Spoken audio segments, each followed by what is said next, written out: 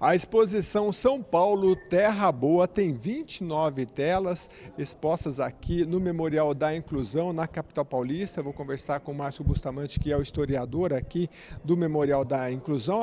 Aliás, já adiantando que fica dentro do Memorial da América Latina. Isso. Márcio, é, qual é a proposta dessa exposição?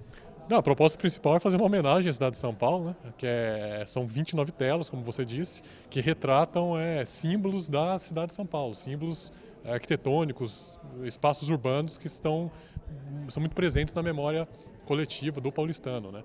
Então a gente faz essa homenagem por conta do aniversário da cidade nesse mês de janeiro. Vamos aproveitar um pouquinho para mostrar um pouco desses quadros, porque tem muita coisa bonita, interessante, acho que vai dar para chegar em alguma coisa ali no fundo.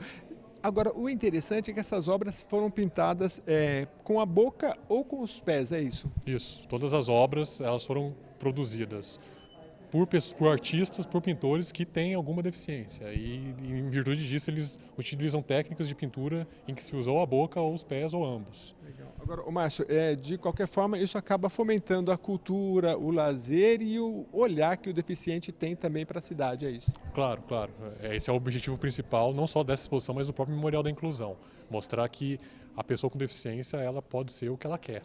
Né? Porque historicamente a pessoa com deficiência sempre foi relegada a papéis marginais da sociedade.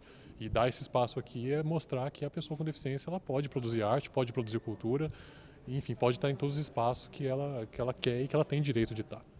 Muito obrigado, Márcio, aqui historiador do Memorial da Inclusão. Essa exposição vai até o dia 23 de fevereiro. O endereço é Auro Soares de Moura, 564, bem próximo aqui do metrô Barra Funda, sempre das 10 da manhã até as 5 da tarde. Se você quer mais informações, o site é memorialdainclusão.sp.gov.br.